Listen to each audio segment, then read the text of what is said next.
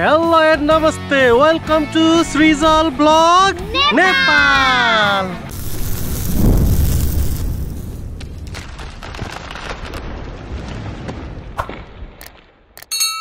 hey dear beautiful souls welcome back to our channel आज हामी हाम्रो आत्मालाई हलचल गराउने मनमोहक यात्राको सुरु गरेका छौँ। And it's through beautiful temples and hilly station of Barah Kshetra Sunsari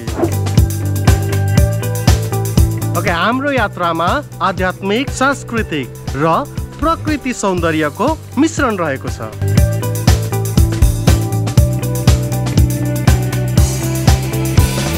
So fasten your seat belts and let's dive into this unique experience. Let's go! Okay, right now it's too hot र हामी आइपुग्यो बारा क्षेत्रको gate इन्ट्रान्समा so हाम्रो first step stunning छ है आश्चर्यजनक छ and it's excited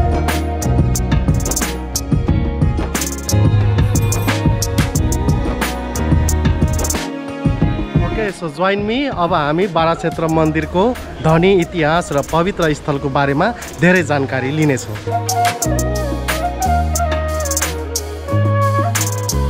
सो अब जल भर्न हामी चाहिँ कोसी तल जाँदैछौँ र जल भरेर आइसकेपछि बल्ल पूजा गर्नेछौँ।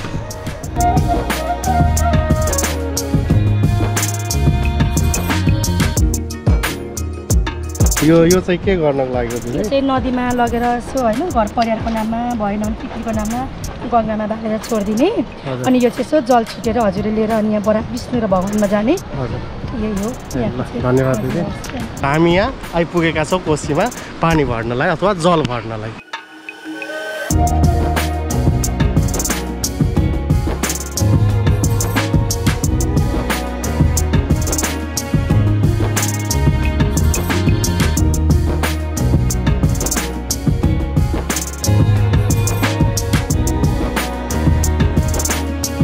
welcome dear travelers to our temple.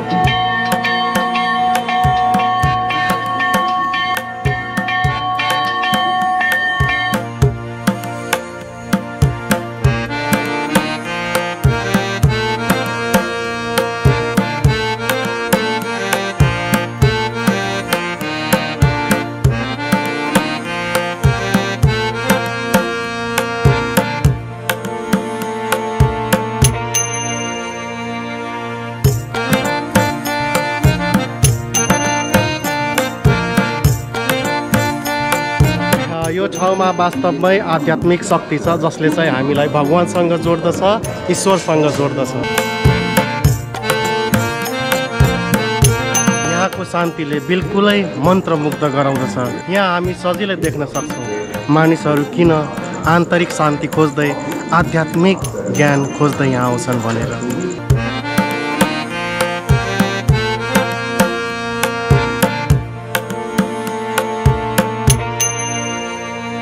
सानो ध्यानले पनि हाम्रो आत्मालाई पुनरुत्थान गर्दछ। बराह क्षेत्र हिन्दू र किराँत धर्मावलम्बीहरूको लागि तीर्थस्थल हो।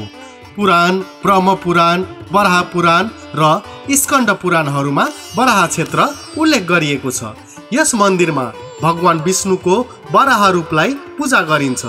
बराह क्षेत्र नेपालको चार धाम मध्ये एक हो। सो हामीले बारा क्षेत्र मन्दिरको दर्शन सकायो। And now let's venture to mystical hills see you there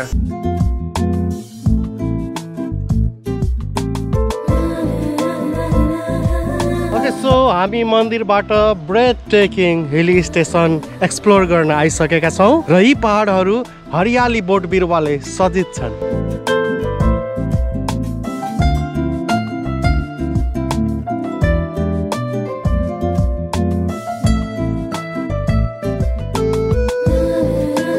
And offer a perfect escape from hustle and bustle of life.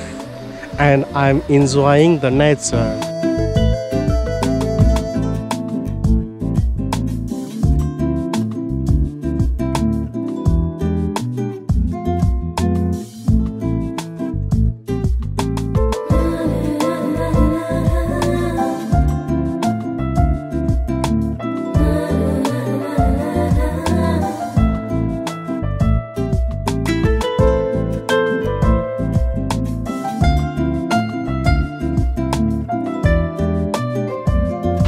You are an adventure seeker or you are a peaceful lover or just you want to pass your time in peaceful environment like this then this environment is something for everyone. I love nature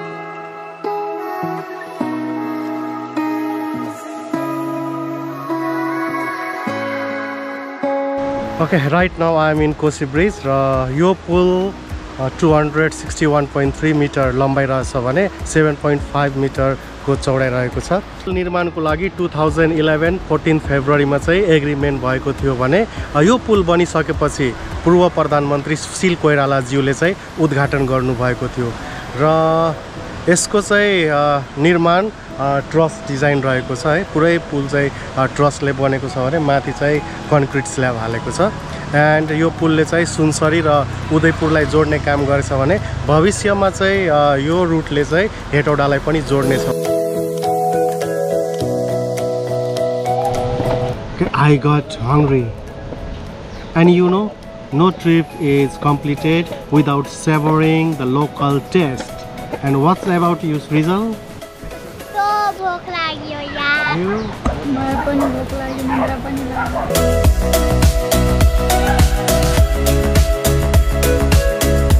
Okay, so here we have tukpa and momo in local flavor and local taste.